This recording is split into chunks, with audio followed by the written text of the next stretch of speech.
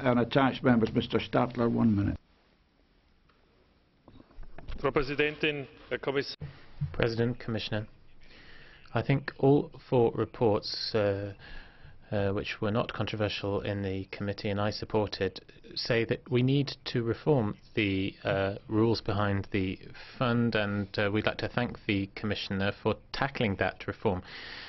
Uh, our colleague has said that previously uh, aid was given using the watering can principle and we should move away from that. We're not going to have any more money in the can and we need to use the money that's available better. Now,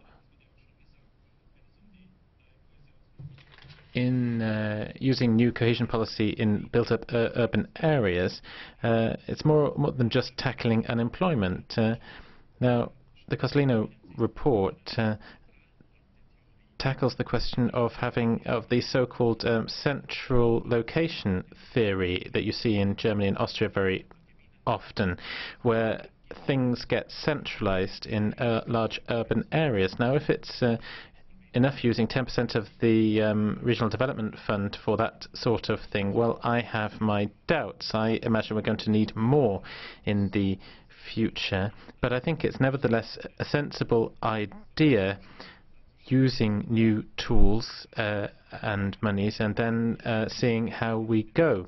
So I'm sure that we haven't reached the end of the road on that particular idea. Now, on point 10 of the German version of the report, the Costellino report, there's a translation error I just wanted to flag up, where it should say that the measures uh, are not there to fight energy efficiency. Of course, they're there to improve and heighten energy efficiency, not to fight it.